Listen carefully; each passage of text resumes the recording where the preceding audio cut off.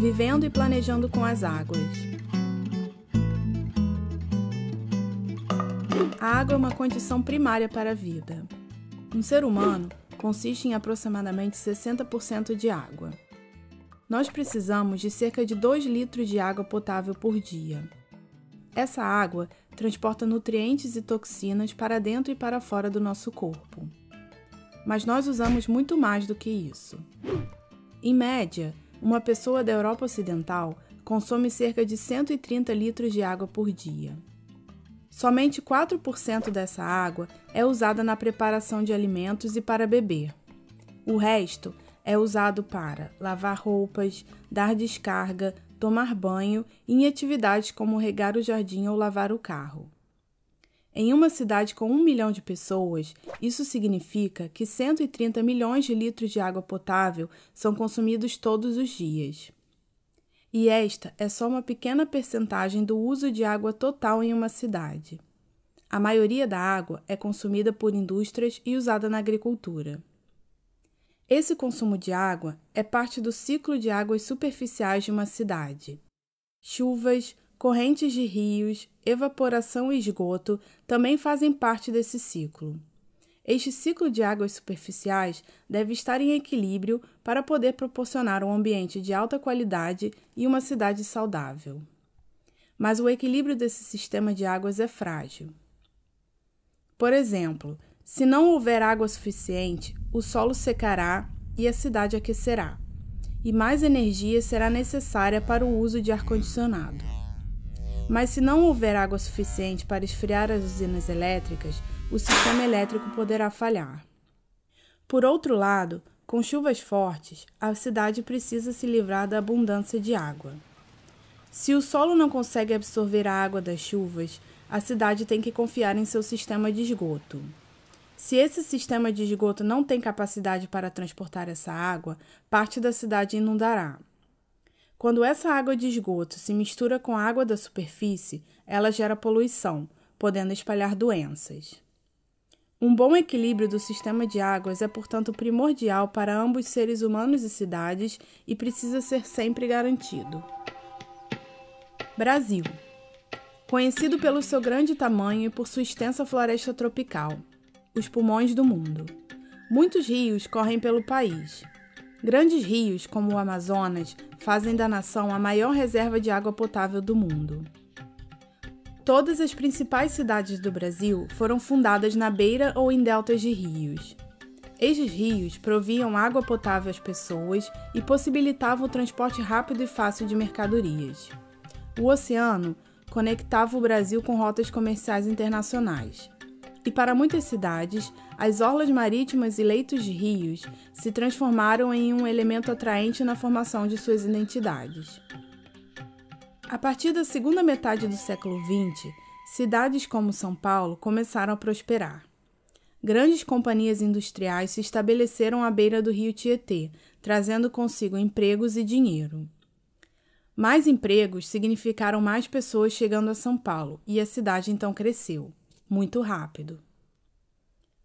O rápido crescimento das cidades brasileiras também teve seu lado negativo. Esse crescimento foi em geral sem controle e a construção de sistemas de saneamento básico não acompanhou o mesmo passo. Hoje, de 5 a 10% das pessoas não possuem acesso direto à água potável e um número ainda maior de residências não está conectado ao sistema de esgoto. Atualmente, existe um sério desequilíbrio no sistema de águas urbanas na maior parte das cidades brasileiras. Essas áreas carecem de uma regulamentação apropriada para o manejo de seus resíduos.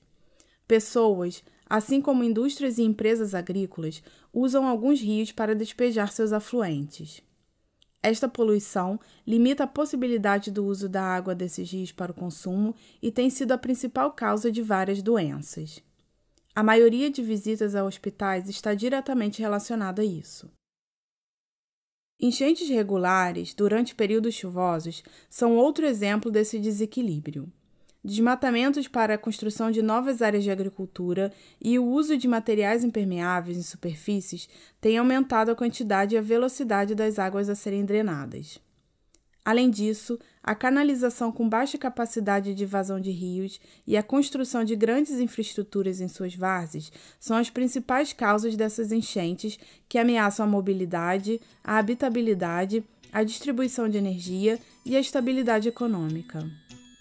Para muitas cidades brasileiras, a restauração do equilíbrio do ciclo de suas águas é, portanto, crucial.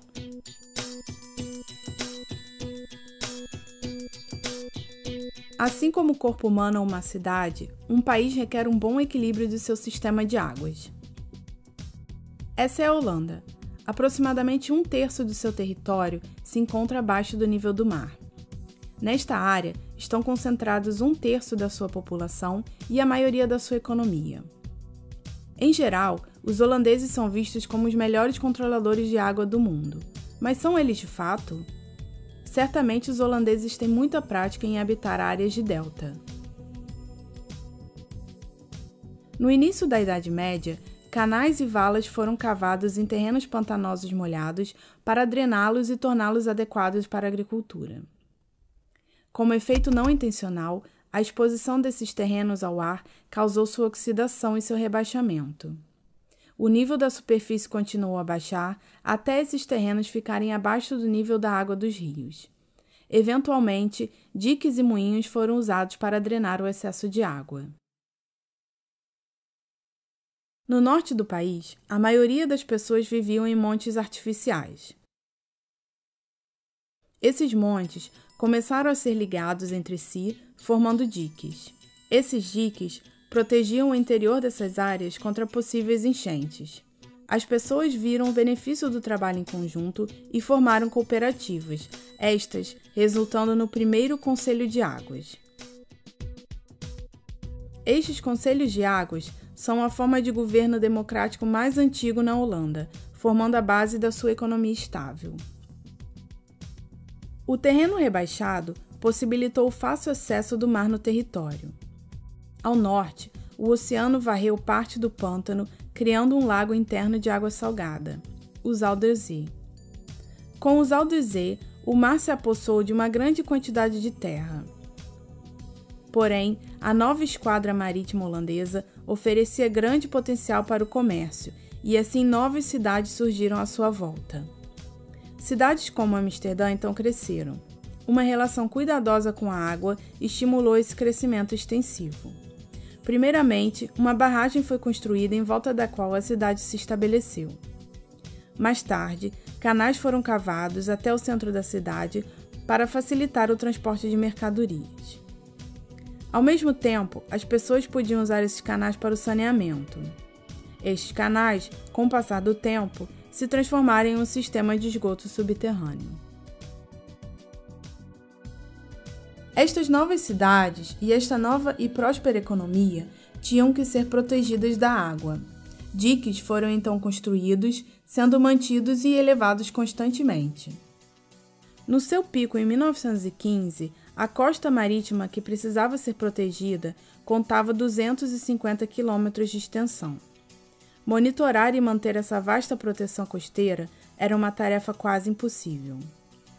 Uma enchente desastrosa, ocorrida em 1916, levou à construção do chamado The Afsluitdijk. Esse dique, com 28 km de extensão, diminuiu 600 km da costa. Outra redução de 700 km dessa costa se seguiu 50 anos mais tarde, depois de uma grande enchente em 1953. Com essas intervenções, novas oportunidades surgiram, como por exemplo a reivindicação de terras. Mas essas intervenções também trouxeram mudanças inesperadas e indesejadas para a economia e para os sistemas ecológicos. Enquanto a costa marítima foi sendo encurtada através dos séculos, um desenvolvimento similar acontecia ao longo de todos os rios e córregos holandeses.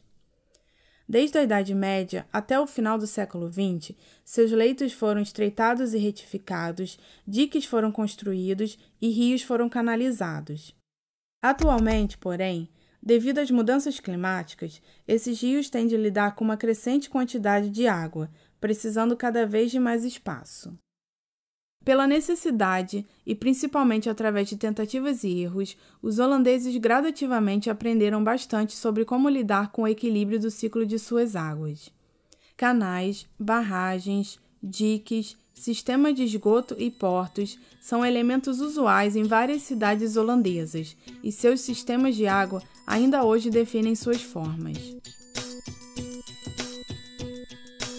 Na parte norte do delta holandês, à beira do lago IJsselmeer e do rio IJssel, localiza-se uma pequena cidade chamada Kampen. Quando uma tempestade empurra as águas do IJsselmeer, o rio IJssel não consegue livrar-se do excesso de água e seu nível aumenta drasticamente. Para proteger Kampen e as cidades ao seu redor, um plano com múltiplas camadas foi desenvolvido. Uma barreira inflável contra grandes ondas, chamada Bauchstuhl, foi construída para prevenir enchentes em cidades vizinhas e em infraestruturas industriais. Na cidade, outras medidas tiveram que ser adotadas. A elevação do seu cais não era uma opção, então, uma nova barreira foi projetada em blocos construtivos que poderia ser erguida em um dia com a ajuda de voluntários. Isso significa que o cais está sempre aberto, mas quando há previsão de tempestades, a barreira pode ser construída rapidamente. Inédito é o fato de habitações fazerem parte dessa barreira depois de terem suas fachadas fortalecidas e impermeabilizadas. As medidas de segurança adotadas pela cidade de Dodert em caso de enchentes são um bom exemplo da estratégia conhecida como Espaço para o Rio. A cidade está localizada na junção de dois dos mais importantes rios do país. Constantemente, a cidade tem que lidar com excesso de água trazido pelo rio de Merwede. Para proteger a cidade desse excesso de água, uma série de diques foram construídos. Mas os diques sozinhos não conseguem proteger a cidade de toda essa água extra. Assim, um plano foi feito para diminuir a quantidade de água correndo para Dordrecht. Diques em áreas vizinhas não habitadas foram reconstruídos mais internamente. Assim, quando existe excesso de água nos rios, estes dispõem de uma maior área inundável.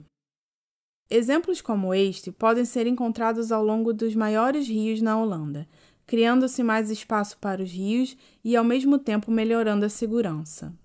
Redescobrir as qualidades das águas e como elas podem ser usadas para criar cidades e paisagens mais resilientes é um desafio que envolve vários diferentes atores. Trabalhando-se em conjunto e mantendo-se em mente a saúde e a segurança das próximas gerações são essenciais para se redesenhar nossas cidades, tanto no Brasil quanto na Holanda.